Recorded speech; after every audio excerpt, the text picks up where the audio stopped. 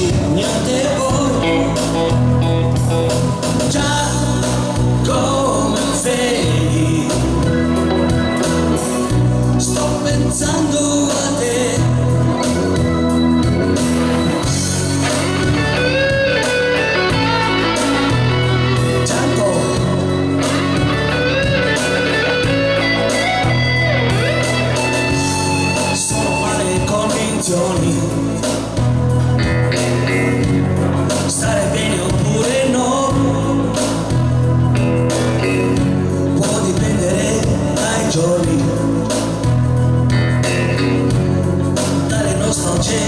Que